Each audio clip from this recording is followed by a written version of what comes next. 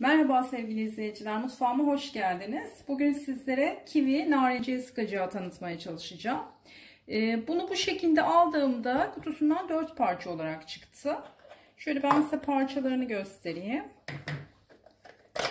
Bu buradan çıkıyor. Şöyle içinde de fişi e, gizli bir bölümü var. Gizli sistem yapmışlar fişi için.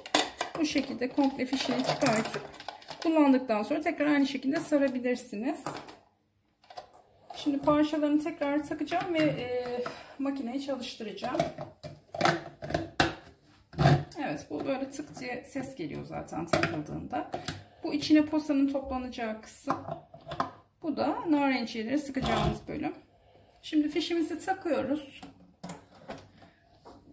Ee, Narenciyeleri sıktığımız zaman e, akması için herhangi bir aparat çıkmadığı içinden. O yüzden böyle bir bardak kullanabilirsiniz. Yani çok fazla parça olmaması da açıkçası iyi. Şimdi bir tane bir parça portakal aldım ve sıkma işlemine başlıyorum. Makinenin en önemli özelliği 15 dakika çalıştırdıktan sonra bir 20 saniye dinlendiriyoruz. E, her iki tarafa da dönme özelliği var. E, onu zaten şimdi çalıştığımda tekrar göstereceğim size.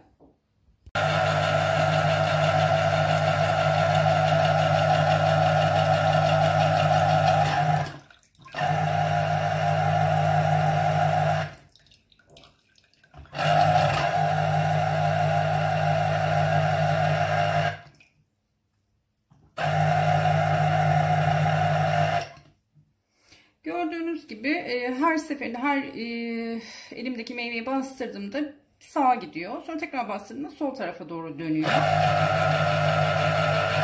Bu da meyvenin içindeki bütün suyu dışarı çıkarmasını sağlıyor. Bir tane de böyle mandalina, bu portakalda bir tane de böyle mandalina sıkalım.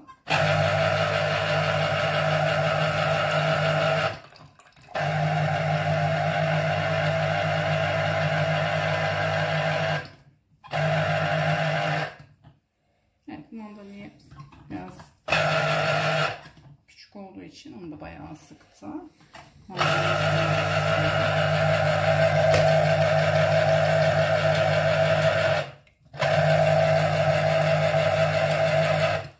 Şuradan baskı uyguluyorsunuz. Şuradan baskı uyguladığınızda zaten makine kendi otomatik olarak gördüğünüz gibi şöyle posalarını topluyorum.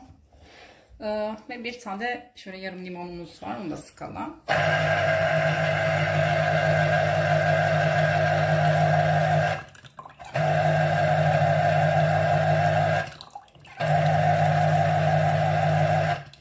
Şimdi 15 saniye oldu zannedersem 15 saniye çalıştırdıktan sonra bir 20 saniye bekliyoruz. Ee, motor çünkü e, ısınıyor ve soğuması gerekiyor. O aşamada siz e, tekrar meyvelerinizi bölebilirsiniz. Meyvelerinizi hazırlayabilirsiniz. Sıkma işlemim bitti. 3 ee, tane meyveden yaklaşık olarak bir su bardağı kadar ama benim su bardağım büyük bayağı büyük bir su bardağı. Yaklaşık bir su bardağı kadar meyve suyu elde ettik. Temizlik işlemine gelirse e, makinenin ana gövdesi elektrikli olduğu için sadece bir bezle şu geriye bırakayım. Bir bezle silebilirsiniz. Üstteki 3 parçayı e, makineye koymuyorum. Ben elde yıkıyorum işim bittikten sonra.